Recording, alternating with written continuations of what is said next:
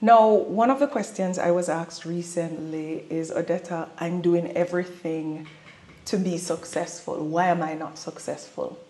And there are many reasons why you're not successful, and a lot of people will say it's because you're lazy.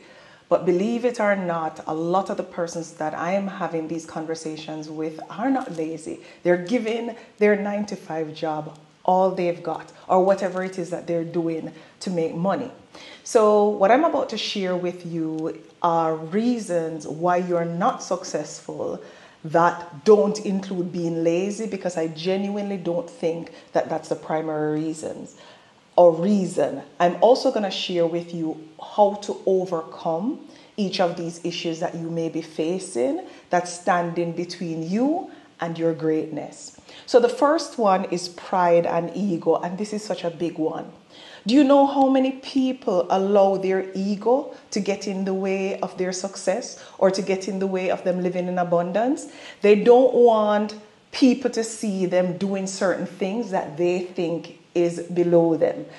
As an example, when I was a vice president in a Fortune 500 company, one of my side hustles was I had a business where I sold clothing. And what I would do is I would wear the clothing to work. My staff members would say they like it. And the policy said there was no soliciting at work. But what I would do is pile up my trunk with all the clothing in it, and then I would park outside at the gate of work, outside of the premises, and when my employees came out, they would patronize me and buy stuff from me. Now, it's not that I had to do it. I said I was a vice president in a Fortune 500 company making a six figure income, but I've always done side hustles. But those, so, those same employees who were buying from me, who were some of them at the entry level, would never have done something like that because they would be ashamed of it. I talk about things like selling candy to make money, which I've done in my old age here, many people would be ashamed to do things like that. Even something like YouTube, I've recommended persons who have been laid off from their job to take the knowledge that they have and to monetize a channel with it, and they're hesitant. And I, I can't see, to see if you guys see me.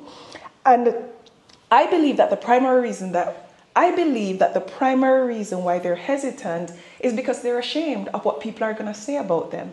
So, to overcome this, the first thing is you need to be confident enough to not allow your ego and your pride to get in the way. The second thing is you need to be unbothered and you need to not care about what all these people whose opinion, by the way, you're worried about who don't help you to pay those bills when they're due, but you're so concerned about their opinion that it stops you from doing that thing that will allow you to pay your bill. You need to block out the noise. You need to ignore those people who you believe will not endorse what you're doing and because of them not endorsing it, you allow it to stop you from progressing. And I know this is not easy. It took me a long while to not care what people have to say or think about me. And I may have to do a whole nother video on that. But that's the first thing that you need to address. The minute you get yourself in a place where people's opinion of you doesn't matter, you're going to become unstoppable. I promise you. The second reason is that you may you're indecisive. And this is something that I struggle with. Do you know how many times I'm trying to decide on something, even something like where to eat? And I'm there thinking, what do I feel for? What do, and it takes me such a long time until sometimes the eating time goes right by. Indecisiveness is actually what causes stagnation. If you can't make up your mind to do something, then it's stopping you from achieving your greatness. And one of the reasons why we're indecisive is because we fear that when we do that thing, it's going to result in failure. And because we don't want to fail, we stay away from deciding. Well, that's the worst thing that you can do to yourself because by not deciding, you make absolutely no progress. To overcome it, you can use pros and cons lists. My God, I use them every day. If I'm to decide on something, if, even if it's not a major decision, I'm gonna do a pros and cons list. These are all the reasons that I should do this. These are all the reasons I shouldn't. When I was getting a divorce from my first marriage, I did that and whoop, the light bulb went off, packed my bags and left. The second thing that you can do is you set deadlines. If you set a deadline for yourself, then you have to decide fast and then it prevents you from overthinking because you need to make things happen right away.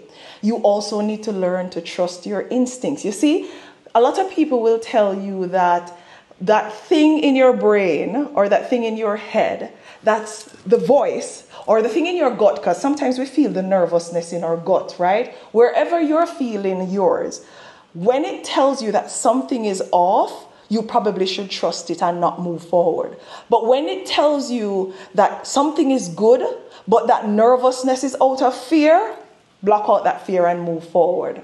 You also need to break down your choices. If you can create a decision tree of you know, let me start with a smaller decision or the impact that's going to be least or the thing from the decision that's going to be least impactful, evaluate it. It will allow the decision making process to go a little bit faster. And even if it's at the same pace, you'll feel a little bit more comfortable about your design, your decision, that is. The next reason is you lack clarity.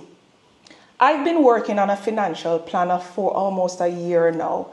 And the reason why I haven't moved as fast as I wanted to is because I don't have a clear vision of what I want to be included in it. That happens a lot when we're pursuing a goal.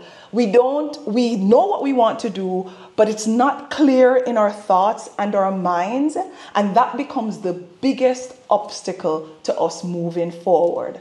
Do not let a lack of clarity get in the way of you achieving your goals. So you're going to define your goals. You're going to write down what you want to achieve and you can do so in details. And by clarifying your objectives, it's going to help you to create a path.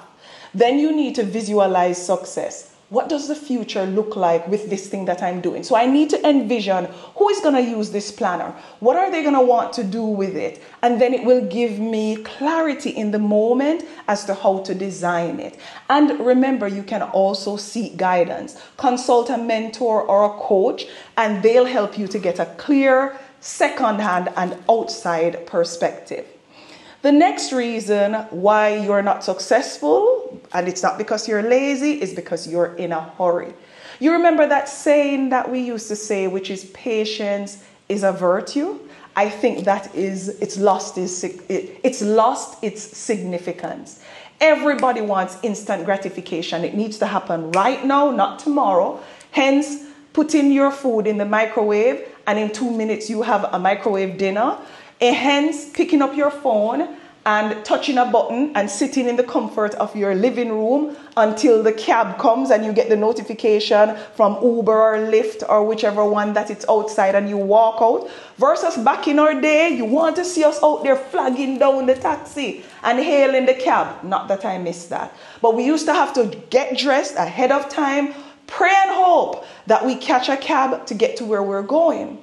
The thing about instant gratification is that our expectations of life is skewed. We now expect that everything is going to happen right now.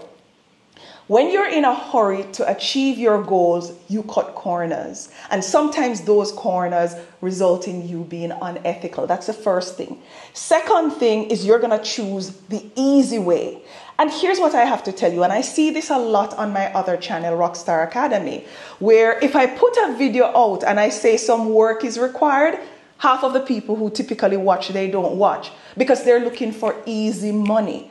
But what you have to realize is that anything that's easy, everybody's doing it. So it's oversaturated. It's not likely going to result in the kind of success that's life changing, or it's not going to make you the kind of money that can lead to financial independence. It's the things that require effort and the things that require time, not that rush that you're on or that immediate gratification. It's the thing that requires an investment of time and effort that's going to give you the greatest reward. When you are attempting to do things fast and you quickly get disappointed by the results, you absolutely get to a place where you do nothing at all. Now, here are some ways to overcome it. You can practice patience, and I know that's not easy, but by setting goals and having milestones leading up to the goals that you celebrate, it will feel like you're making progress and patience will be more, you know, patience will be more practical or attainable then. The other way to approach this rush is to focus on one thing at a time. Prioritize your task and avoid multitasking to maintain focus. Now, the next reason why you may not be achieving success, but again, you're not lazy, is because you think too small. I've often heard the saying, and I've used it a lot, that if when you tell your friends or your family members your goals, they're not laughing at it, it's not aggressive enough. I remember as a child, I told my family members, living in a board house that was deteriorating, holes in the ceiling bigger than the ones in the floor. Holes were all over. We used to use pots to catch rainfall whenever we had light rain, not heavy rain. Imagine me being born into poverty, saying to my family, when I grow up, I'm going to build a mansion that all of us can live in comfortably. And this is going to be eight, nine bedrooms somewhere in that region. They're going to laugh at me. Uh, where am I going to get the money from? But that's when you know your goals are aggressive enough. The issue is many of us think small. And what you focus on is what is rather than what can be. You know how many times I'll post something on my channel that's an opportunity that other people are using to succeed, and this is my other channel, and somebody says, Oh, but this doesn't work. You see, the issue is because they can't get it to work or because it doesn't work for them, they believe it doesn't work or they convince themselves that it doesn't work instead of accepting their limitation and making a decision if they're going to learn from it or they're going to allow it to stop them from achieving their goals.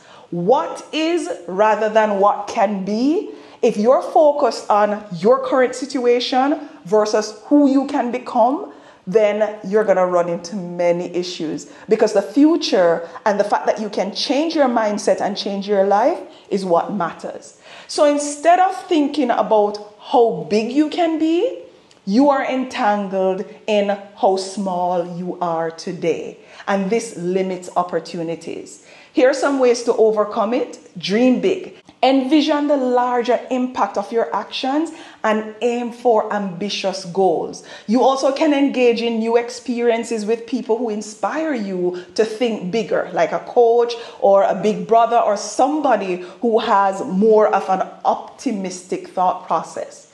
Now, the next one is you are in comparison mode. Ask yourself this question When was the last time you didn't compare yourself with someone else? We do it all the time. I mean, you would be on social media looking at someone's feed and you think, oh my God, I wish I had that, or that could be me, or it's toxic. Toxic. These comparisons, however, aren't usually apples to apples. You starting out in your job sometimes are comparing yourself to someone who's been working for 20 years and have a house and a vehicle, and you're there thinking, why am I not them? Because you haven't invested the time and effort that they have. Everybody's journey is unique. And what might work well for you will not work for the other person. So, why are you comparing yourselves to them? Instead, what you can do is focus on your journey, recognize that everyone's path is their own, create your own path, and limit social media because I realize that it can have a huge impact on most people's mindset. What I do, even though social media no longer influences me, probably in my 20s when they had hi5, I would go on it, but it wasn't an influence. But for those who are still influenced by it, you can curate what you see. Only if you see content coming in that you don't want to see, click on show me less of this. Subscribe to people that will inspire you in a positive way and not trigger you to be somebody that you're not because you're comparing yourselves to them. And the next reason is you're doing what everybody else is doing. You see my cup here, and this is the mantra from my channel we do not do normal. Normal results in mediocre, and we cannot be average and achieve our greatness. And by doing what everybody else is doing or what is trending, you limit your potential and you limit your ambition.